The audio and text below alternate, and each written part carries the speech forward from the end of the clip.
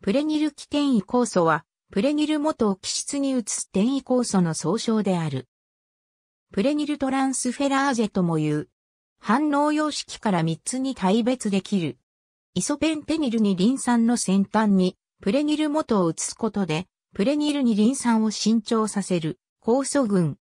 イソプレン単位の分岐構造のどちらの炭素に転移反応を起こすかによってシストラン水性体が生じるが、これは酵素によって決まっており、シストランスフェラーゼ、トランスクリプショントランスフェラーゼのように区別する。ファルネシルにリン酸シンターゼ、ゲラニルゲラニルにリン酸シンターゼなど、シス型とトランスクリプション型の酵素に互いに相動性はない。プレニルにリン酸の先端にもう一つのプレニルにリン酸のプレニル元を移すことで先端同士で結合した形の分子を生成する酵素群。スクアレン合成酵素やフィトエン合成酵素など、蒸気トランスクリプショントランスフェラーゼと相同である。イソプレノイド以外の分子にプレニル元を移す酵素群。指キノンやクロロフィルの合成やタンパク質のプレニル化などに関わる。同じく蒸気トランスクリプショントランスフェラーゼと相同である。文献によってヘッド及びテールが逆に定義されている場合がある。プレニル基転移酵素及びそれに相当な他のタンパク質群はテルペノイド整合性の根幹部分を支える大きな酵素ファミリーを形成している。イソプレノイドは3つの生物ドメインすべてに存在しており、全生物の共通祖先の時代にはすでにイソプレノイド及びプレニル基転移酵素は存在していたと推測され、プレニル基転移酵素の共通祖先はそこからさらに遡る。実際、イソプレノイドは多くの一次代謝や細胞膜の形成に不可欠であるため、地球上の生命の初期進化において重要な役割を果たしたと考えられる。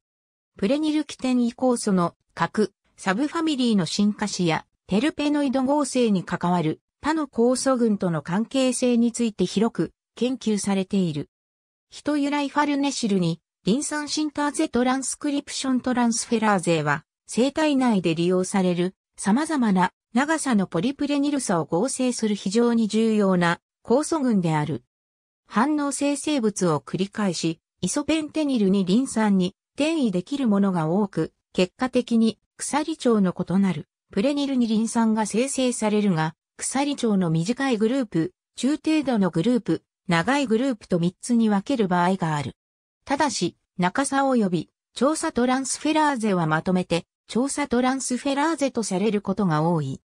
実際、系統時を描くと C25 までの単鎖トランスフェラーゼと C30 以上の調査トランスフェラーゼで別個のクレードを形成する。炭素数25、イソプレン単位5つまでのプレニルにリン酸を合成する。産物の鎖腸はアミノ酸配列中に存在する DDX2 から 4D モチーフ周辺のアミノ酸残機からある程度予測することができる。炭素数30、または35、イソプレン単位6、または7のプレニルにリン酸を合成する。炭素数40から50、イソプレン単位8から10までのプレニルにリン酸を合成する。産物は、指キノン、メナキノン、プラストキノンなどの側鎖として利用されるほか、ある種の天然ゴムの生合成に使われる。細胞壁の生合成等に関与する。ありがとうございます。